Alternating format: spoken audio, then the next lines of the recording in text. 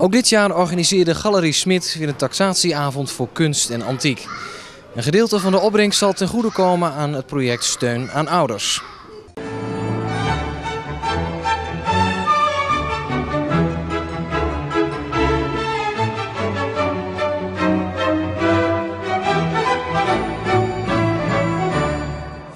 U bent vanavond uh, langsgekomen met een schilderij. Wat kunt u mij daarover vertellen? Wat, wat zien we precies? Nou, dat, dat, daarvoor kom ik hier.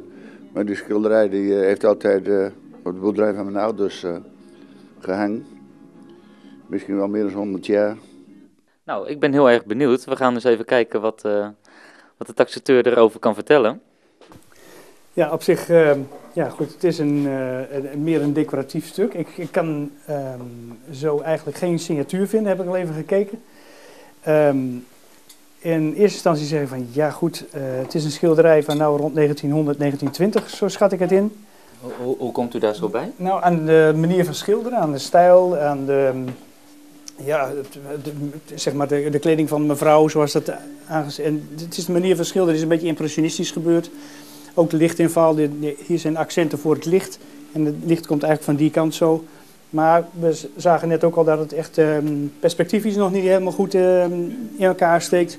Kijk, die hoofdlijnen van, van, van deze, deze kant af, dat moet daar ergens in de verte naar één punt lopen. En eigenlijk al die lijnen, ook van dit ding, moet zo achterin. Maar als je dan hier vergelijkt en deze ramen en zo, dat zit, dat zit weer op een heel ander punt. Ja. Dus dat komt niet bij elkaar. Dus in, daar heeft waarschijnlijk de schilder um, Had dat toen uh, al, toen niet over nagedacht? Of, of, of ja, zou het juist bewust? Niet. Het zou, kun, zou kunnen zijn dat het bewust gebeurd is, maar ik denk het haast niet. Want dat zijn uh, eigenlijk wel de essentiële dingen waar een schilder wel goed op let. Oké. Okay.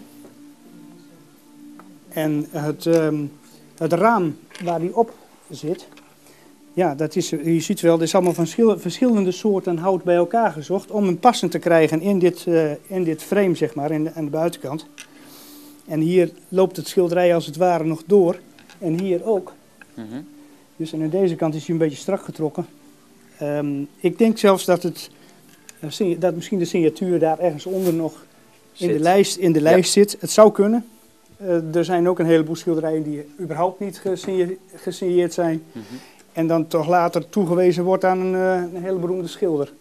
Nou, nou is natuurlijk de mensen die hier komen voor een taxatie, zijn ze natuurlijk bepaald uh, ja, benieuwd naar de, de waarde. Ja. Kunt u, dat, kunt u er eigenlijk nou, niks van ik zeggen? kan er eigenlijk niet zoveel van zeggen. Nee, ik, ik uh, hou het uh, nou, misschien rond de 100 euro of zo. En het kan hond, misschien zelfs 150 worden.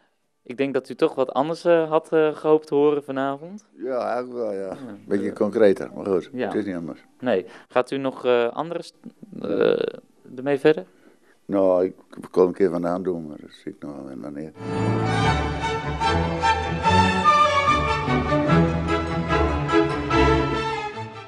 De taxatieavonden die zijn te vinden. We plannen er voor volgend jaar ook weer vier taxatieavonden op onze website. Dat is www.oncemoreforall.nl. Nogmaals voor iedereen. Ja.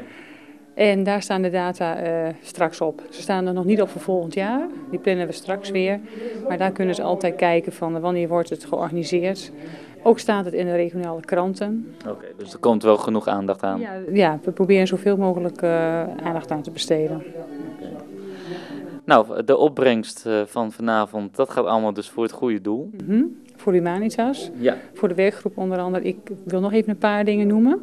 Um, ook onder andere, ja, nu zeg maar rond kerst uh, zijn er ook workshops uh, om iets op, op, kerstniveau te doen. Dus uh, kerstkranten maken, ja. kerststukjes maken. zo worden er ook muzikale workshops gegeven en voor ouders. En, en, en de kinderen? Ja, er is altijd opvang voor kinderen als ze daar elkaar ontmoeten. Okay. Dus dat is hartstikke fijn. Ook sieraden maken uh, wordt georganiseerd voor... Uh, hoe, hoe, groot zijn de groepen dan ongeveer? Nou, ik geloof... Nou, laatst hoorde ik rond de tien. Ja, tien ouders, tien moeders. Ja. Een gezellig clubje dus? Een gezellig clubje ouders, ja. ja.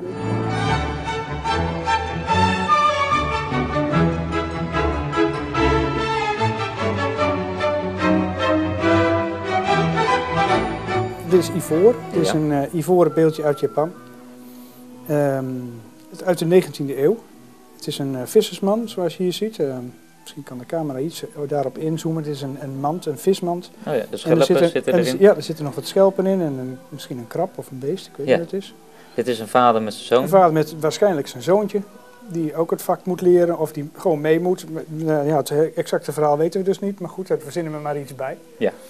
Eh, zou je hier ook een prijs over kunnen eh, ja, ik zeggen? denk dat dit wel tussen de, nou, iets van de 800 en, en de 1000 euro zit. Eh, dit is een heel mooi stukje Japans snijwerk. En het is echt origineel ivoor. Mhm.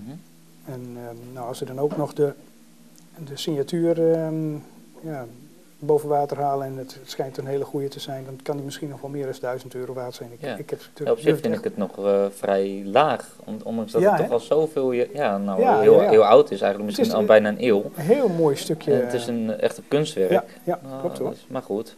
Ja.